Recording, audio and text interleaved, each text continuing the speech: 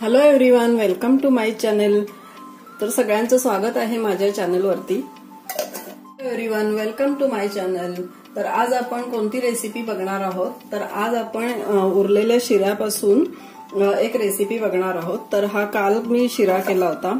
तर मी बंद करून ठेवला होता डब्यामध्ये. नॉर्मली मी असाच मॉर्निंगला खाते पण आज मी विचार केला तुमच्याबरोबर एक रेसिपी शेअर करूया. तर शिऱ्यापासून आपण कोणती रेसिपी बनवू शकतो तर ती मी तुम्हाला दाखवते. तर आज आपण या शिऱ्यापासून पोळी बनवणार आहोत. शिऱ्याची पोळी जसं आपण पुरणपोळी वगैरे बनवतो त्याच पद्धतीने आपण या शिऱ्याची पोळी बनवणार आहोत. आणि ही पोळी खूप छान आणि उत्तम लागते खुसखुशीत लागते. तर एकदम पुरणपोळी जशी लागते त्याच्यापेक्षाही भन्नाट लागते. आणि पुरणपोळी खायची इच्छा झाली तर नक्कीच तुम्ही अशा प्रकारे शिऱ्याची पोळी पण करून खाऊ शकता. त्याची क्रेविंग होऊ शकते. तर मी इथे गव्हाचं पीठ जे आहे ना ते भिजवून ठेवलेलं. तर थोडा वेळ भिजलं गेलंय ते एक तासभर झालंय. तर तुम्हाला मी त्याची आता पोळी बनवून दाखवणार आहे. आणि खूप छान अशी रेसिपी आहे. मुलांना डब्यातनं देऊ शकता किंवा तुम्हाला जर चहाबरोबर खायचं असेल ब्रेकफास्टला सकाळी किंवा संध्याकाळी तर एक वेगळा चेंज म्हणून तुम्ही हे खाऊ शकता. तर नॉर्मल जी पोळ्यांची कणिक आहे गव्हाच्या पिठात पीठ जे आपण चपातीला भिजवतो त्याच पद्धतीचं आपण हे साधं भिजवून घ्यायचं आहे. किंवा जर तुमच्याकडे भिजलेलं असेल तर त्याचीच तुम्ही ही पोळी बनवून खाऊ शकता. एकदम खूप इझी आहे. जसं आपण पुरणपोळीसाठी एक गोळा घेतो त्या पद्धतीचा असा एक छोटा पण छोटा घ्यायचा आहे चपातीच्या गोळ्यापेक्षा. तर हे बघा. आणि छान अशी त्याची पारी करून घ्यायची. आणि हे जे सारण आहे सारण म्हणजे हा जो शिरा आहे तो मी आता हातानेच घेते दाखवते तुम्हाला. आणि मी हा साजूक तुपात केलेला आहे त्यामुळे त्याची टेस्ट आहे ना खूप छान येणार आहे. आणि नॉर्मल साध्या तुपात जरी केलेला असला तरी पण तो छान लागतो. अशा पद्धतीने ना हे भरून घ्यायचं आहे. जसं आपण पराठ्याला भरतो पुरण त्या पद्धतीने असं हे बघा दाबून घ्यायचं. आणि छान असं आणि छान अशी पोळी आपण आता लाटून घेणार आहोत. थोडीशी अशी जशी आपण पुरणाची पोळी आपण असं थोडस करून घेतो ना पासून तसं घ्यायचंही करून. असं पीठ टाकायचं आहे म्हणजे जेणेकरून फुटू नये त्यासाठी.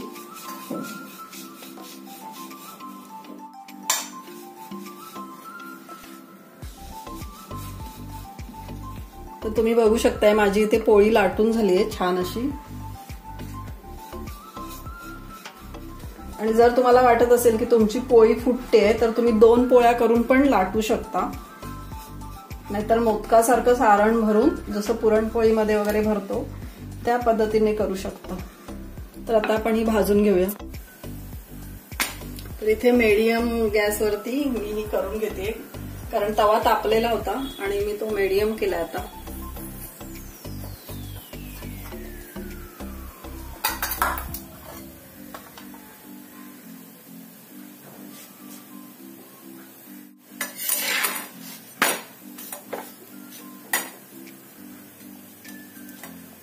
अशी छान अशी दोन्ही साईडने खरपूस भाजून घ्यायची.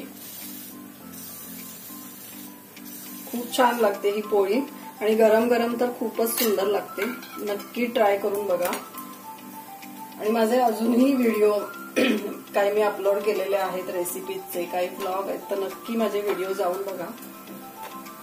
आणि माझे जर व्हिडिओ आवडत असतील तर माझ्या चॅनलला सबस्क्राईब करा लाईक शेअर आणि कमेंट देखील करायला विसरू नका. बघा छान अशी खरपूस ती भाजून घेतली आहे पोळी.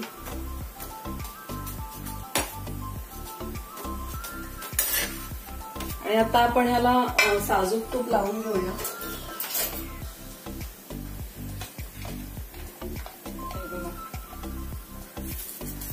छान असं पोळीला तूप लावून घ्यायचं.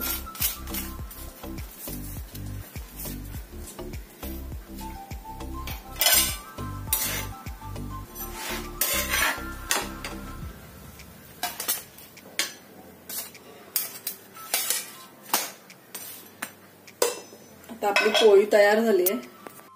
एका साईडला गॅसवरती लावून घेतलं आणि खाली उतरवून एका साईडला लावून घेतलं. म्हणजे तूप करपायची भीती नाही. आणि खरंच खूप छान आणि टेम्पटिंग अशी आपली ही पोळी तयार झालेली आहे. बघू शकताय. किती छान अशी शिऱ्याची पोळी तयार झालेली आहे. हे बघा.